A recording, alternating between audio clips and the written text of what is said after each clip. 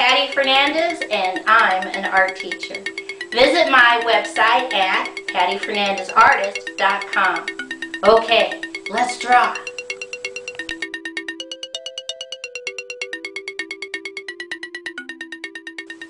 Today's project is how to draw a man from the colonial times.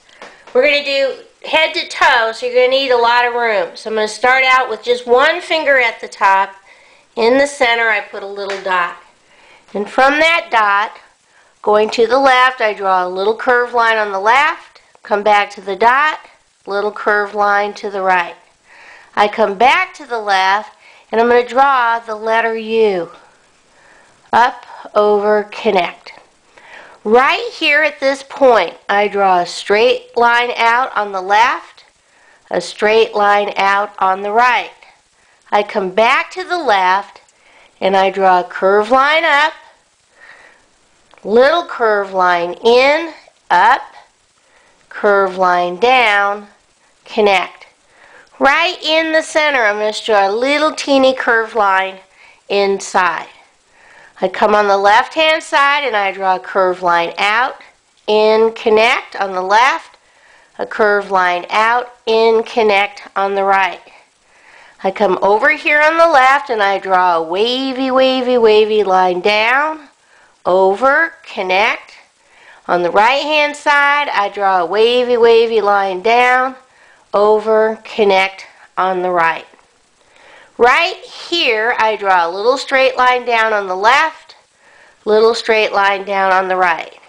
Come back to the left, connect the two with a slightly curved line. Come on the left hand side, draw a straight diagonal line out on the left, and a straight diagonal line out on the right. Come back to the left and draw a pretty good long straight line down on the left. Come back on the right, pretty long straight line on the right.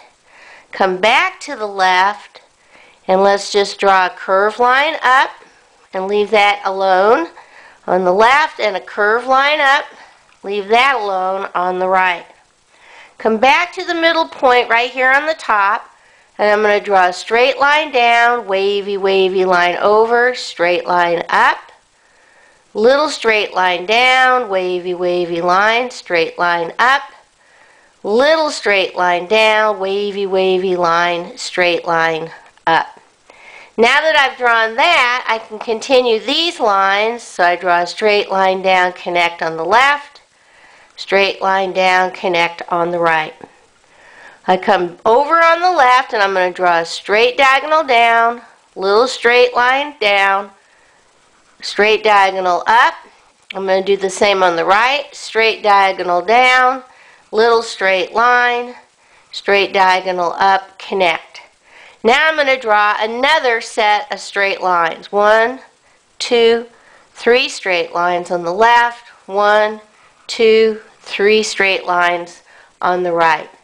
At the end, I'm going to draw a curved line out, little curved line connect on the left, curved line out, little curved line connect on the right.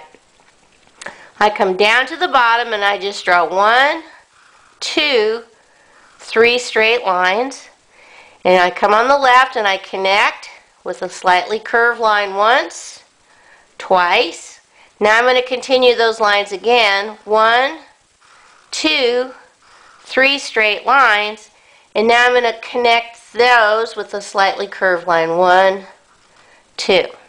Starting on the left, I draw a straight diagonal out, curved line, straight line up, connect. And on the right, I'm going to draw a straight diagonal out, curved line, straight line up, connect. Inside, I'm going to draw one square and a baby square.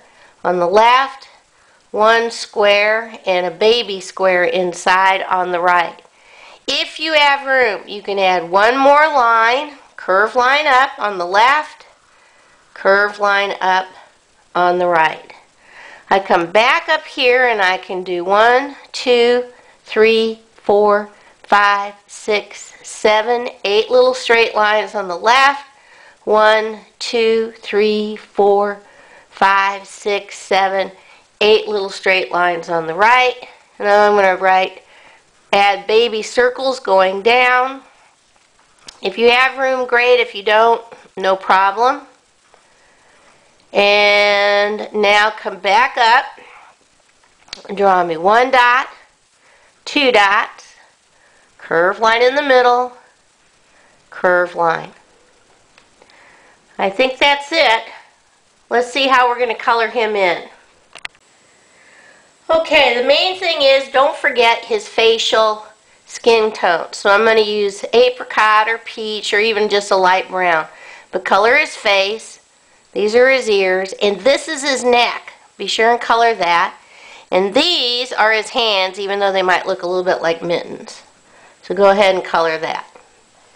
Now, I had a whole range of browns. So I'm going to just do his coat jacket and his pants all in one brown. I'm going to come back and do his sleeves, this top part in another color, brown. Then I'm going to come back and do his wrists, a third brown, and I'll probably pick that up on his pants. And do his hat, one color brown, and then use another brown for that little teeny space inside. I'm going to give him black hair. You can do whatever you want. And I'm going to give him black shoes. Again, you can color whatever you want. But those little squares, these are going to be buckles. So I'm going to do those yellow. And all these little dots are going to be brass buttons. So there he is. Let's see what he looks like all colored in. Here's my colonist all colored in, ready to go help write the Declaration of Independence or maybe dump tea in Boston's harbor. Okay, bye-bye.